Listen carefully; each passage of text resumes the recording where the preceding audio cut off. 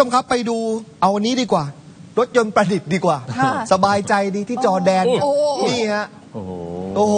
ขึ้นหลังเต่าเลยครับ นี่บรรยากาศการแข่งขันขับรถประดิษฐ์แบบไม่มีเครื่องยนต์นะครับ Red Bull Soapbox ที่กรุงอัมมานของจอร์แดนครับ เมื่อวันศุกร์ที่ผ่านมา มีทั้งหมด 40 ทีมครับ แล้วก็โชว์ไอเดียประดิษฐ์รถไร้เครื่องยนต์ สีสันสดใส ดีไซน์แปลกตา แล้วก็ส่งนักแข่ง ไปตามเส้นทางต่างๆ ผ่านสิ่งกีดขวางเนินหลังเต่าคู่ ค่ะผ่านกองฟาง ครับ ผ่านแผ่นไม้ บางคันเนี่ยไม่แน่ใจว่าด้วยความแข็งแรงไม่ผ่านไปได้ แต่บางคันเนี่ยมันก็ผ่านไม่ไหวครับ มันก็พลิกตะแคงไม่เป็นท่าฮะ มันไม่ไหวเนี่จริยงมันสูงอะหลังเต่าอะ นี่การแข่งขันนี่จัดมาแล้ว3ครั้งนะ โอ้โหจัดครั้งแรกเมื่อปี 58 แต่ว่าบรรยากาศก็คึกคักเห็นไหม เออ คนแห่ไปดูกันเต็มเลยครับโอ้โห นี่ก็อันนี้ผ่านไปได้ผ่านไปได้